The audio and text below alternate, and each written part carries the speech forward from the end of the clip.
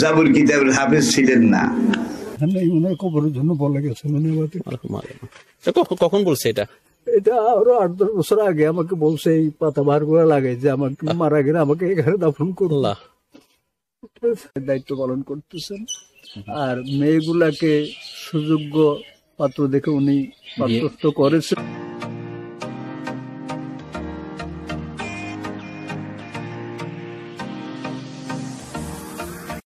Because আমি এখন লক্ষ্মীপুর জেলা রামগঞ্জ থানার বদরপুর গ্রামে আছি এবং আমি যেখানে দাঁড়িয়ে আছি, এখান থেকে অল্প দূরত্ব হচ্ছে আমাদের বাংলাদেশের অন্যতম জনপ্রিয় ইসলামিক বক্তা আলামা রুতুর রহমান সাহেবের বাড়ি।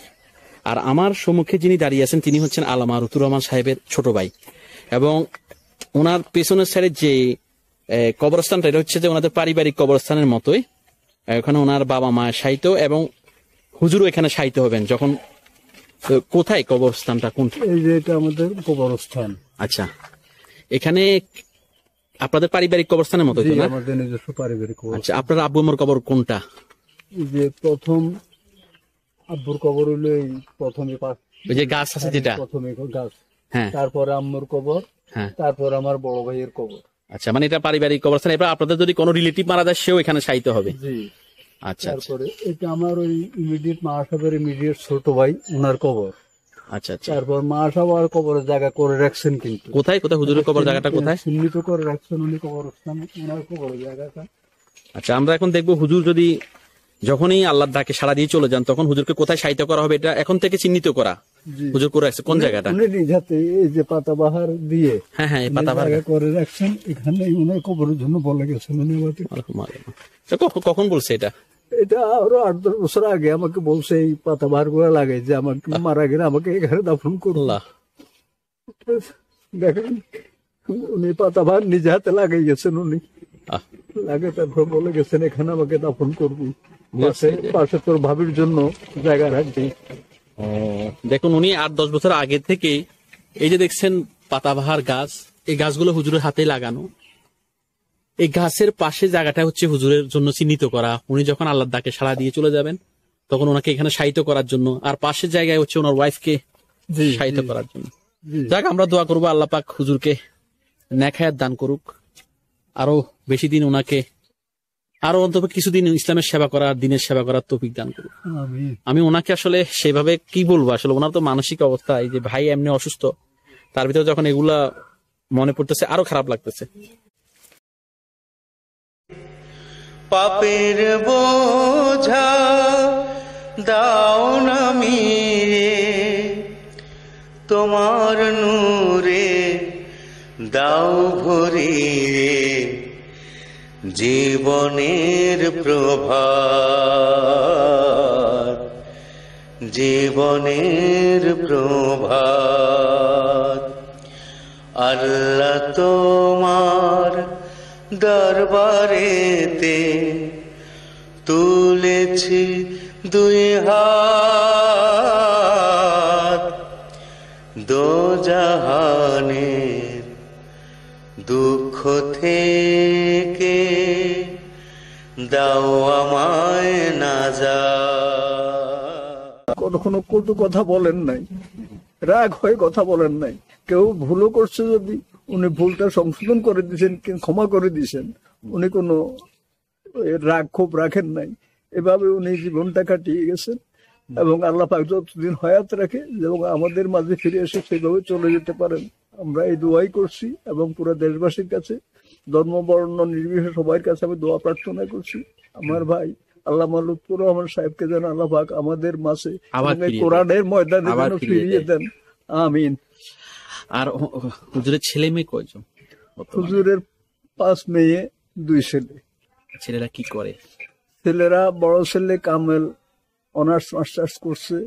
সে এখন হামদর্দে একটা ভালো পদে চাকরি করতেছেন আর ছোট ছেলে নিজের ওই শিক্ষা প্রতিষ্ঠান আছে কয়েকটা তারপর নিজের একটা কোম্পানি আছে ওই কোম্পানির দায়িত্ব পালন করতেছেন। আর মেয়েগুলাকে সুযোগ্য পাত্র দেখে উনি পাত্রস্থ করেছেন এবং জামাইরা সবাই কামেল মাস্টার্স অনার্স করা অনেকেই বিভিন্ন মাদ্রাসায় দায়িত্ব পালন করতেছেন। তারা এই অবস্থায় আছেন। আলহামদুলিল্লাহ মানে সবাই মোটামুটি একটা হ্যাঁ, ভালো। ইনশাল্লাহ ওনার নাতি নাতনিরা সবাই শিক্ষিত সবাই শিক্ষিত। এবং দিনী শিক্ষা শিক্ষিত। দিনী শিক্ষায় শিক্ষিত সবাই। সেটাই। কেউ এই আধুনিক শিক্ষা গ্রহণ করে নাই। আসলে ওনার বড় মেয়ের ঘরের তিনটা নাতি নাতনি এই পর্যন্ত ডাক্তার হয়েছে। মাশাল্লাহ ওই বড় নাতনিটা ডাক্তার হওয়ার পরে ঢাকা মেডিকেলে চান্স পাইছে। ওখানে এক দেড় চাকরি করার পরে হঠাৎ অসুস্থ নাতিনটা মারা গেছে। এরপর ওনার আরও দুইটা নাতনি ওরা ডাক্তার হয়েছে। একজন বলে চিটাং মেডিকেলে এখন কর্মরত আছেন আরেকজন এখন ওই ইয়ে করতেছে ওই ইন্টারনি যেটা। ইন্টার্নি করতেছে আরেক নাতনি এখন ওই অধ্যয়নরতা করতেছে। তো আমি দোয়া চাই তাদের সবাইকে যেন আল্লাহ পাক কামিয়াব করেন হুজুরের নাতনি হিসেবে প্রতিষ্ঠিত করে দেন এবং যশ খ্যাতি যেন বিশ্বময় তাদেরও ছড়িয়ে পড়ে হুজুরের মতো। এরকম প্রতিভা তাদের ভিতরে আল্লাহ দান করুন দান করুক। আর হুজুরের ওয়াইফ কি এখনও বেঁচে আছে? হুজুর ওয়াইফ বেঁচে আছেন এবং উনি সার্বক্ষণিক ওনার পাশে আছেন তদারকিতে আছে হাসপাতালে। আমি যখন প্রথম ভিডিও করছিলাম মানে যেটা আমার চ্যানেলে দেওয়া আর ওখানে কিন্তু উনি বলছিলেন যে ওয়াইফ সহ হজে যাবেন তখন হজে যাওয়ার কথা ছিল। আমি যেদিন ইন্টারভিউ নিলাম এর পরের দিনে উনি হজে চলে যান। জি ওয়াইফ সহ হজ করেছেন। হজ করে উনি তো বহুবার হজ করেছেন আবার অনেক সময় ইনভাইটেশন ওনাকে অনেকে ইনভাইট করিও হজের জন্য নিয়ে যেত সৌদি গভর্নমেন্ট ওনাকে হ্যাঁ একবার হজে নিয়েছেন ওই সময় বোধহয় আল্লামা দেলোয়ার হোসেন সাইদি সহ ওনারা দুইজন সৌদি গভর্নমেন্টের আমন্ত্রণে হজে গেছেন এরপরও বিভিন্ন সংগঠন বিভিন্ন সংস্থা এই যে গত হজটা উনি গেছেন সৌদি একটা সংস্থা বাংলাদেশের সংস্থা তারা দাওয়াত করেছে। উনি তার ওনাদের দাওয়াতে হজে গেছেন। তো ওনার ওয়াইফ সহ হজ এই গতবারই মাত্র একবারই করেছে। এছাড়া উনি বহুবার হজ করেছে উমরা করেছে। আচ্ছা আপনার আব্বু সম্বন্ধে যদি একটু বলতেন আপনার বাপ দাদাদের সম্বন্ধে চাচাদের সম্বন্ধে। আমার আব্বা উনি কলিকাতা আলিয়া মাদ্রাসা থেকে কামাল পাশ করেছেন। কামাল পাশ করে উনি দেশে এসে কয়েকটা মাদ্রাসায় কাজ করেছেন। সর্বশেষ উনি বরিশালের পটুয়াখালী তখনকার পটুয়াখালীতে কালাইয়া একটা মাদ্রাসা প্রতিষ্ঠা করেন এবং কালাইয়া প্রতিষ্ঠিত ওনার মাদ্রাসায় উনি প্রিন্সিপাল হিসেবে কাজ করে গেছেন। উনি জীবনের প্রায় তেতাল্লিশ চৌচল্লিশ বছর সেই মাদ্রাসা এবং ওই বরিশালেই কাটিয়েছেন। মাঝে মধ্যে আসতেন আসে সবাইকে দেখে টেকে যেতেন আবার ওখানে কর্মরত চলে যেতেন। চৌচল্লিশ তেতাল্লিশ চৌচল্লিশ বছর চাকরি করার পর উনি ওখান থেকে রিটায়ার করে দেশে আসছে দেশে আসার পরবর্তী অন্য আঠারো বিশ বছর বেঁচে ছিলেন। এবং আমার আব্বাও খুবই চিমচাম লোক ছিলেন এবং সৎ অনেস্ট যাকে বলে তার ভিতরে কোনো ইয়ে ছিল না। এবং আমার এলাকার লোকজন তো বলে যে মৌলভী সাহেব একজন অলিয়াল্লাহ ছিলেন মারা সাহেব আব্বা একজন অলিয়াল্লাহ ছিলেন এরকমই এলাকার লোকজন বলে। আমরা- আছে এলাকাতে হ্যাঁ। আমরা এটা আমরা এটা বলি না। কিন্তু এলাকার লোকজন বলে এত সচ্চরিত্রবান এবং মিষ্টভাষী এবং এই কোরআনের এবং একজন দায়ী হিসেবে উনি ছিলেন যতদিন হাত ছিল আল্লাহ ওনার কেউ ব্যস্ত নসিব করুন। আমার আম্মাও খুব ভালো গৃহিণী ছিলেন। আমার আম্মাও নাই আজকে দুনিয়াতে বেছে আমার আম্মাকেও যেন আল্লাহ পাক জান্নাতবাসী করেন সেই দোয়াই করছে এবং সবার কাছে দোয়া চাচ্ছি আমার মা বাবার জন্য। আর হুজুর তো নির্বাচন করেছিলেন দুইবার এখান থেকে। উনি একানব্বই এবং ছিয়ানব্বই সালে জামাতের প্রার্থী হিসেবে দাঁড়িপাল্লা মার্কা নিয়ে রামগঞ্জ উপজেলা থেকে নির্বাচন করেছেন। অল্প ভোটের ব্যবধানে আমি উনি দুইবারই পরাজিত হয়েছেন। এটা আমরা একটাই লক্ষ্য করছি রামগঞ্জ উপজেলাতে কি পরিমাণ যদিও উনি এমপি হন নাই কিন্তু কি পরিমাণ লোকের সমর্থন পেয়েছেন অনেক সময় সেটা আমরা দেখেছি তখন। তবে এবারও ওনাকে প্রার্থী করার একটা ঘোষণা জামাত দিয়েছিল। যদি সুন্দর নির্বাচন হতো তত্ত্বাবধায়ক সরকার আমলে জোটবদ্ধ হয়ে নির্বাচন হলে হয়তো উনি প্রার্থী হতেন। এবার প্রার্থী হলে আমরা আশা করি যে জনসমর্থন এখন আমাদের রামগঞ্জে আছে জামাতের।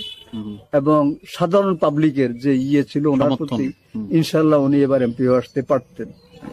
তো আল্লাহ পাক ভবিষ্যতে যেন ওনাকে বাঁচিয়ে রাখে এবং কোরআনের ময়দানে এসে যেন সাংগঠনিক ইয়েগুলো করতে পারেন। ধর্মীয় প্রচার প্রসার করতে পারেন। সেই দোয়া করছি এবং দোয়া চাচ্ছি সবার কাছে। আপনার বাড়ির পাশে তো ওনার বাড়ি হাঁটি যাওয়া যায় হ্যাঁ আমার বাড়ি থেকে কত এই তিনশো গজ। তিনশো গজ। তিনশো গজ। এখানে উনি তো অনেক বড় মাপে একজন আলেম। এখানে আর কোন বড় আলেম এসেছিল? আপনি দেখার তো কারণ আমাদের এখানে তো চারজন আলাম আছে বড় বড়। এছাড়া আরও কোন বাংলাদেশের প্রখ্যাত আপনার এই যে বক্তা এই বাড়িতে এসেছিল? হুজুরের সাথে দেখা করার জন্য। আপনি নিজের চোখে দেখেছেন? এই বাড়িতে অসুস্থ হওয়ার পর এমনি অসুস্থ না, আমি আগে থেকেই বলতেছি, যখন আগে থেকে অনেক আলেম ওলামা বড় বড় যেমন আল্লামা দেলোয়ার হোসেন সাইদির ছেলে এই যে ছোট ছেলে কি নাম জানো ওনার? কি মাসুম? একজন মাসুদ আছে একজন মাসুম সাইদি। উনি এসে দেখে গেছেন গত বছর খানেক আগে উনি অনেক সময় এখানে ছিলেন। এছাড়া আরও অন্যান্য ওয়াইজেনগণও এসেছেন। তবে সবার পক্ষে হয়তো সম্ভব হয়ে ওঠে না আর বিভিন্ন মাহফিলে গেল তো ওনার সাথে বড় বড় সাক্ষাৎ হয়ে যায় হয়ে যার জন্য ওনাকে ওই এসে দেখা করার মতো এমন প্রয়োজনীয় ওনারা প্রয়োজনীয়তা মনে করতে করেন নাই হয়তো কিন্তু মাহফিলে মাহফিলে অনেক বক্তাদের সাথে ওনার দেখা সাক্ষাৎ। অসুস্থ হওয়ার পরে। কিন্তু সব আলেমরাই সেখানে গিয়ে ওনার সাথে সাক্ষাৎ করেছেন দেখা করেছেন। ইবনে সিনাতে। ইবনি সিনাতে। এবং কিছু আলম তো একারে পুরা দিন রাত্রি ওখানে কাটিয়েছেন। ওনার জন্য দোয়া করেছেন। এখন সারা বাংলাদেশে তো মাহফিল হয়। এমন কোন মাহফিল নাই যেখানে ওনার জন্য দোয়া করা হয় না। আলেমরা এবং শ্রোতারা কান্নায় ভেঙে পড়ে।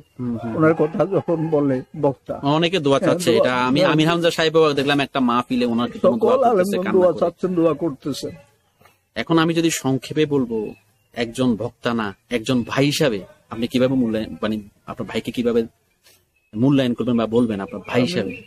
আমি ছোট ভাই হিসেবে আমার ভাইকে যেভাবে দেখেছি ওনার জীবনে আমি কোনোদিন রাগ ক্ষোভ হিংসা বিদ্বেষ ওনার জীবনে দেখি নাই। এবং ওনার জীবনে এক ওয়াক্ত নামাজ কাজা হয়েছে এটা আমি দেখি নাই। উনি তাহাজুদ নামাজ আদায় করতেন। এবং যতটুকু সম্ভব মসজিদে গিয়ে নামাজ, পাঁচ ওয়াক্ত নামাজ আদায় করার চেষ্টা করতেন জামাতের সাথে। এবং উনি এলাকাবাসীর সাথে যেভাবে কথাবার্তা বলতেন, আচার আচরণ, সবাই ওনার আচার আচরণ মুগ্ধ। তো উনি উনিশশো তিয়াত্তর বা চুয়াত্তরে বদরপুরে একটা দাখিল মাদ্রাসা প্রতিষ্ঠা করেন। এবং দাখিল মাদ্রাসা প্রতিষ্ঠা করার পরে আমাদের মসজিদটা অনেক পুরনো হয়ে গেছে। উনি বিভিন্ন জায়গা থেকে অনুদান এবং এলাকাবাসী অনুদানে মসজিদটাকে দ্বিতল ভবনে রূপান্তরিত করেন এবং অনেক সুন্দর অনেক বড় মাপের একটা মসজিদ উনি প্রতিষ্ঠা করেছেন এবং মাদ্রাসায় এই কয়েকটা ভবন ওনার উচিলায় ওনার উদ্যোগেই হয়েছে এবং মাদ্রাসার পূব দিকের ভবনটা এবং সরকারি ওই মঞ্জুরি উনি পেয়েছেন সরকারি মঞ্জুরি বলতে ভবনের মঞ্জুরি। এটা কন্ট্রাক্ট হয়েছে। তো এই- ভবনটা হয়তো হবে কাজ। একদিন কন্ট্রাক্টের কন্ট্রাক্টরের সাথে আমরা আলাপ করেছি বলছে যে ইনশাল্লাহ মাসখানে কেন মাল সামনে পৌঁছে যাবে কাজ আরম্ভ হবে। তবে উনি যে চেষ্টা করে গেছেন উনি যেন ভবনটা দেখে যেতে পারেন অন্তত। সেটাই ওনার তো অনেক স্বপ্ন ছিল যে হ্যাঁ, এই ভবনটা দিনী প্রতিষ্ঠানের জন্য। এবং এখানে আলেম প্রতিষ্ঠা করার ওনার একটা খেয়াল ছিল ভবনটা হয়ে গেল উনি আলেম প্রতিষ্ঠা করতেন। আল্লাহ পাক যেন ওনাকে সেই সুযোগটা দান করেন।